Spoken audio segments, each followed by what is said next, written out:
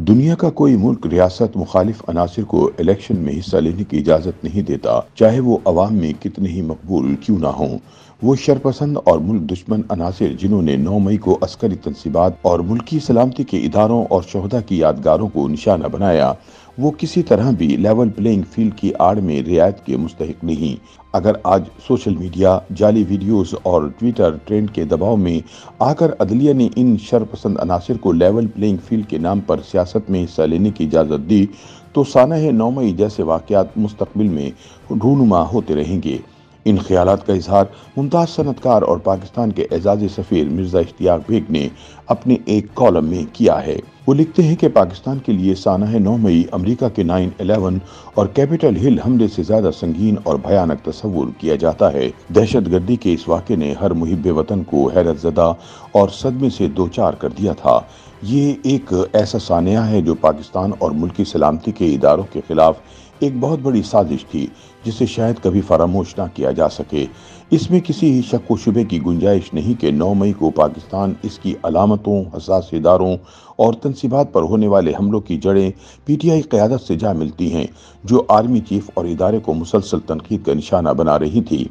जिसका मकसद लोगों के दिलों में पाक फौज के खिलाफ नफरत और दरार पैदा करना और अवाम को शरपसंदी पर उकसाना था। शरपसंदों को ये अहदाफ दिए गए थे कि इमरान खान की गिरफ्तारी के बाद अस्करी तनसीबात पर हमला आवर होना है और सोचे समझे मंसूबे के तहत तरीके इंसाफ के शरपसंदों ने इमरान खान की गिरफ्तारी पर जुनूनी अंदाज में जी एच क्यू और अस्करी तनसीबात को निशाना बनाया। मिर्ज़ा इश्तियाक बेग कहते हैं कि होना तो ये चाहिए था कि साना नौमी में मुलविस अफराद के खिलाफ सख्त एक्शन लेते हुए कैफर किरदार तक पहुँचाया जाता, ताकि मुस्तबिल में इस तरह के वाक़ात रूनुमा ना हो सके। मगर अफसोस के कानूनी पेचीदगियों के बायस ये शरपसंद अनासर अभी तक अपने मनतकी अंजाम तक नहीं पहुँच सके और सोशल मीडिया पर उन्हें हीरो के तौर पर पेश किया जा रहा है। बात यहीं ख़त्म नहीं होती, बल्कि इलेक्शन शेड्यूल के ऐलान के बाद आजकल उन शरपसंदों के लिए लेवल प्लेइंग फ़ील्ड की असलाह इस्तेमाल की जा रही है। ये जानते हुए भी कि मुल्क दुश्मन जमातों और शरपसंद अनासर को लेवल प्लेइंग फ़ील्ड का कोई हक हासिल नहीं। लेवल प्लेइंग फ़ील्ड का इतलाक जमहूरियत पसंद जमातों और उनके कारकुनों पर होता है, न कि ऐसी जमातें जो मुल्क की सलामती और इदारों की मुखालिफ हों। दुनिया का कोई मुल्क रियासत मुखालिफ अनासर को इलेक्शन में हिस्सा लेने की इजाज़त नहीं देता, चाहे वो अवाम में कितने ही मकबूल क्यों ना हों। मिर्ज़ा इश्तियाक भी बताते हैं कि हाल ही में जमहूरियत के अलमबरदार अमरीका जैसे मुल्क की आला अदालतें सबक अमरीकी सदर डोनल्ड ट्रंप को कैपिटल हिल हमला केस में नाहल करार दे चुकी हैं। ट्रंप पर इल्ज़ाम था कि उन्होंने अपने हामियों को वाशिंगटन की तरफ़ मार्च पर उकसाया और उनके हज़ारों हामियों ने 6 जनवरी 2021 को कैपिटल हिल पर धावा बोलकर तोड़फोड़ की।